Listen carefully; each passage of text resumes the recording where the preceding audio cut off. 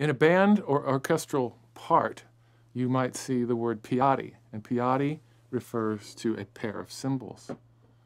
Or if the part says in English cymbals, that doesn't mean suspended cymbal, that means a pair of cymbals. These can be tricky to play, so, but I'll give you the basics. Three things need to happen. You don't push them together like this because that creates a giant air pocket and no sound. So the first thing you need to do is have one higher than the other. That's really easy. The other thing that has to happen is they both move. You don't just hit one into the other. They move like this.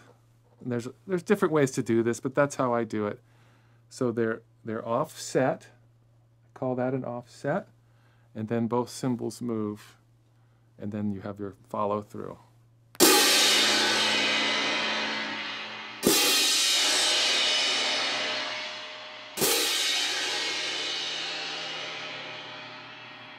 Playing cymbals is really fun. It's one of my favorite things to do. It's a little bit hard at first, but once you get it, it's really great because the audience always hears a cymbal crash, and it's always important. So have fun with that.